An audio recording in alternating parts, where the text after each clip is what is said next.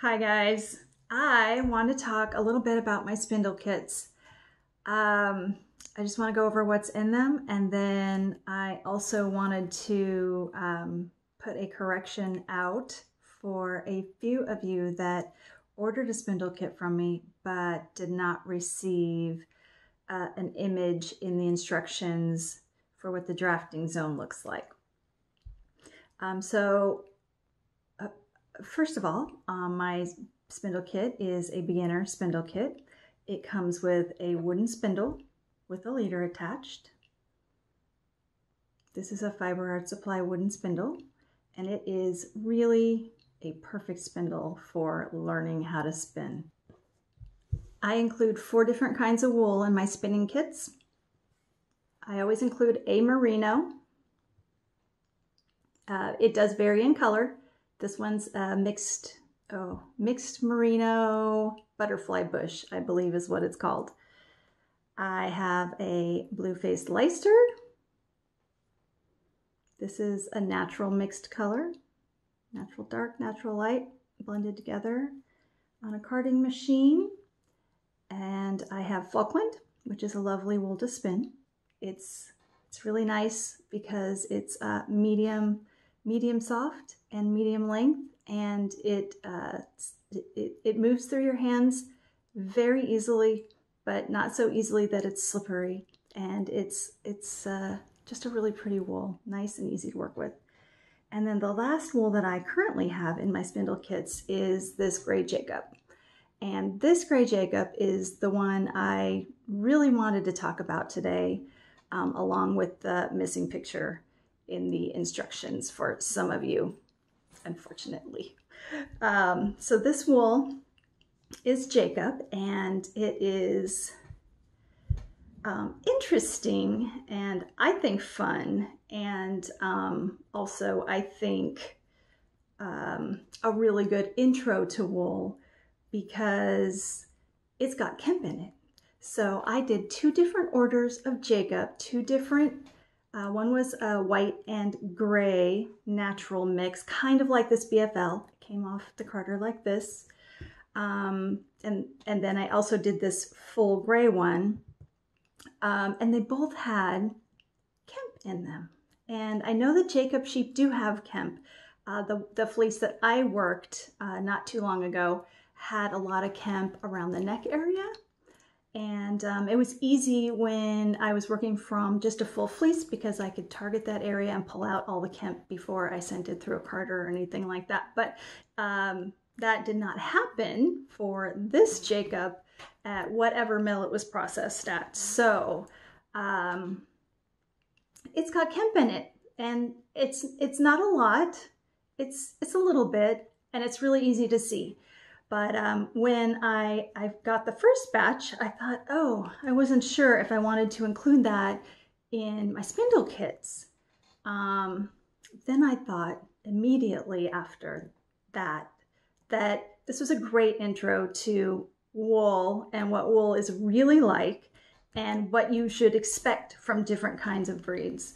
Um, and also expect for um, what you might be looking at for fiber prep. Um, as you move along in your spinning journey. You're going to run into all different kinds of wool, coarsenesses, softness, length, um, and then uh, just quality within that.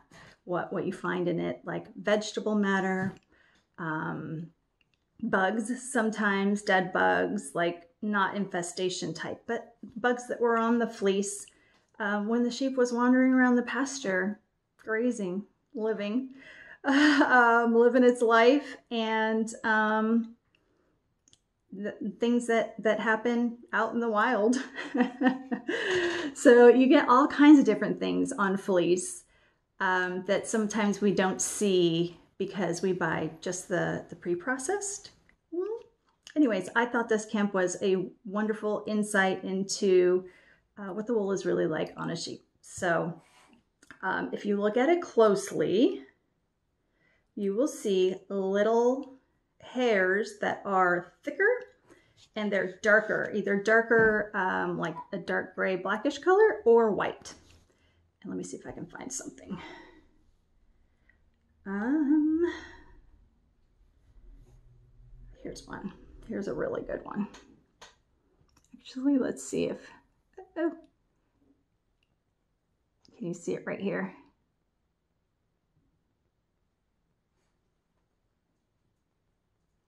That's kind of, it's kind of hard to see.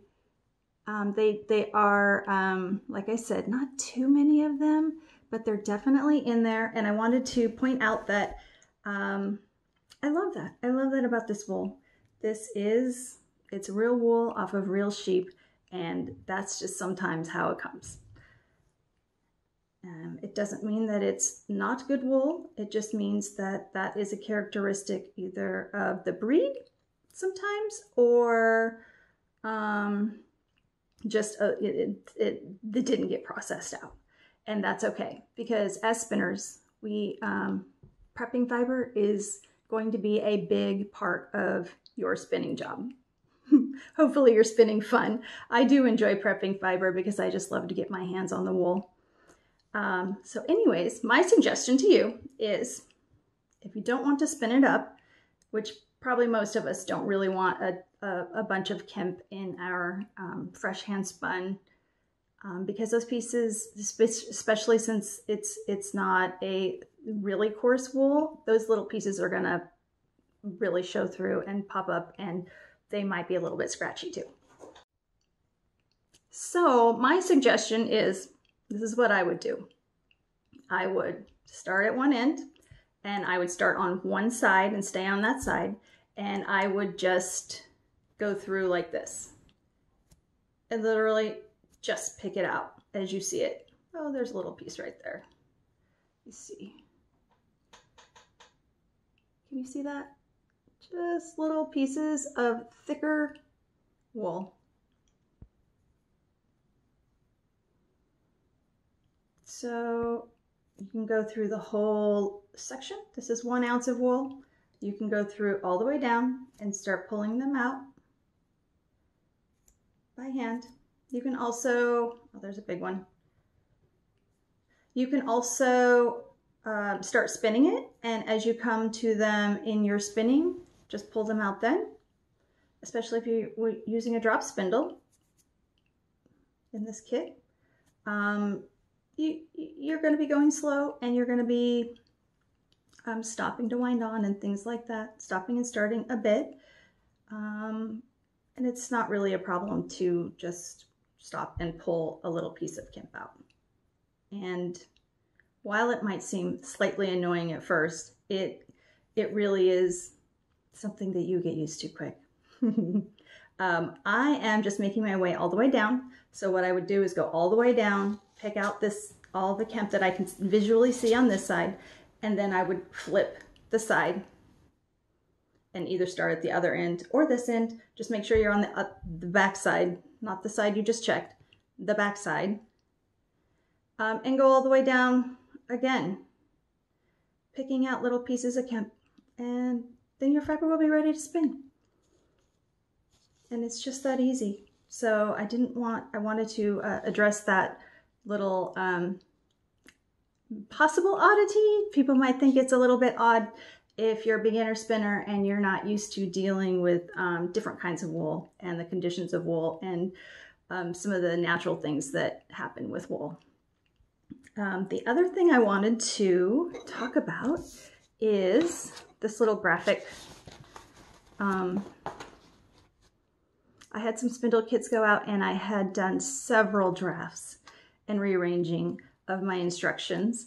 And um, somehow I missed including this picture in the instructions it actually says refer to the picture. And there was no picture. And I printed up some of them and some unfortunately got sent out that way. But this is the picture. It's of the drafting zone. Um, when you're spinning. If you did get a spindle kit and you did not receive that in your kit and you would like to have it, um, feel free to email me and I will send that out. I'll, I'll email it to you directly. So um, I apologize for that. I hope it didn't impede. I don't think it really would impede learning how to spin. but um, it did say it was there and it was not, so I apologize. Well, I hope you guys enjoy the spindle kits, and if you are watching this and you have not purchased a spindle kit from me, I have my spindle kits for sale um, at, on Etsy, or feel free to contact me directly at my email, and um, I can invoice you and send you a spindle kit if you're interested in that. All right, I'll talk to you guys later.